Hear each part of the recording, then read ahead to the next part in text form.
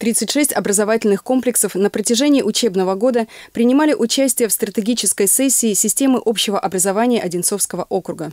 Реализация программы стала возможна благодаря соглашению между муниципалитетом и Школой бизнеса и международных компетенций МГИМО.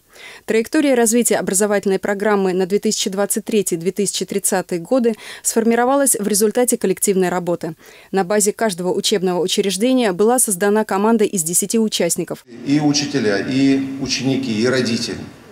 Вы э, прошли стратегические сессии, обучались на вебинарах, работали с экспертами, обменивались мнениями, изучали лучшие практики, как э, российские, так и международные.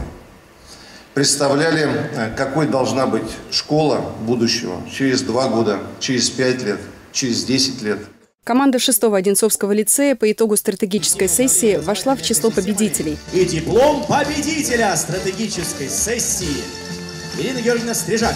В течение 9 месяцев мы работали над концепцией, вопросы были разные подняты, но мы остановились, в принципе, на профориентационной работе, потому что э, мы поняли, что в современных условиях учить чему-то, каким-то определенным профессиям, наверное, нецелесообразно. В связи с тем, что мир так быстро меняется, мы э, концепцию свою назвали «Образование через всю жизнь». Мы пришли к тому, что, в принципе, не учить профессиям, а учить навыкам для того, чтобы в любой профессии наши дети были асами. Среди финалистов также оказались Одинцовские школа номер 3 и 11 гимназия.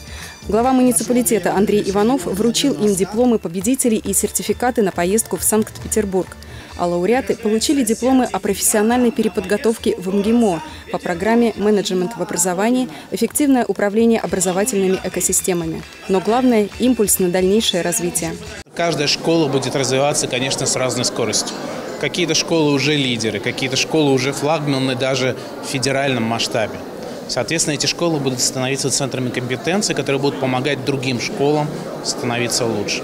В итоге появился образ школы будущего для всего Одинцовского округа. Основной ценностью объявлены качественное и доступное образование, неравнодушие и вовлеченность в учебный процесс, атмосфера доверия и возможность раскрыть потенциал каждого воспитанника. Елена Краева, Олег Мещерский, телекомпания «Одинцова».